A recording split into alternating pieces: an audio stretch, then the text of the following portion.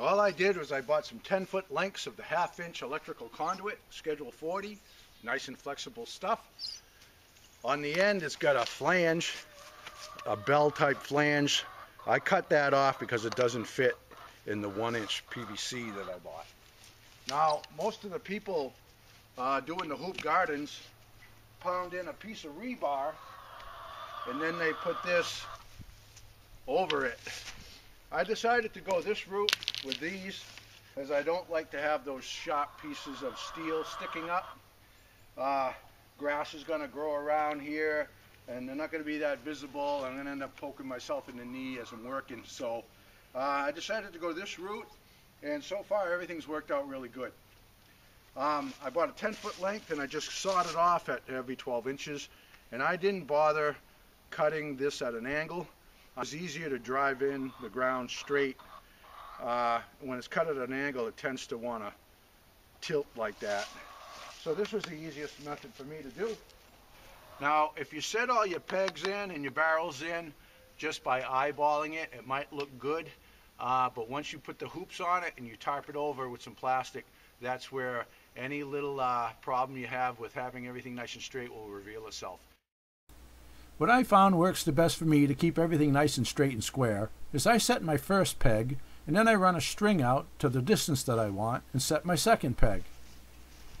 Once I had my string, then I just hooked on and I measured equal distances and put in my pipe. Once I did that, I measured the width, measured the width, reset my string, repeated the process. You have a border collie giving you a problem. And once I have all my one inch pipe set, let's just set these up and put that in.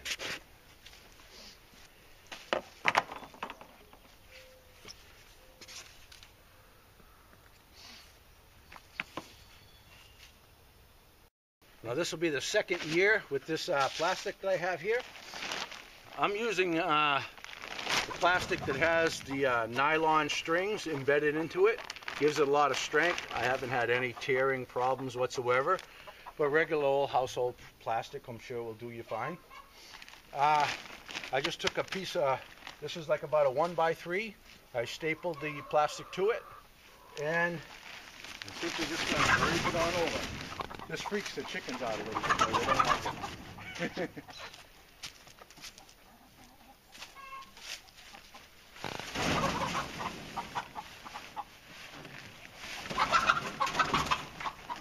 When they get this hoop garden set up and uh, let the sun warm the soil.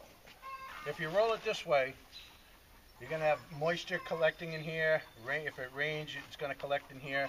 There's nothing to hold that from unrolling. By rolling it backwards, it'll support itself, and you can give your plants a little air if it gets too hot. Now for the edges, I simply just tuck that excess in there. I pull it tight. I take these clamps here. You can get them at Home Depot for a dollar a piece.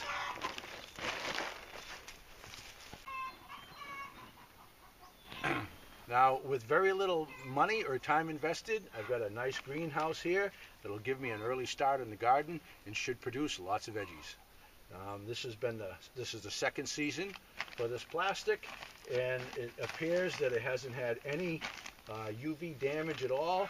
Um, what I did after the season last year was I rolled it up and I stuck it under the deck where the sun's not going to be beating on it, and I think I'm going to get quite a few years out of it. It was well worth the investment.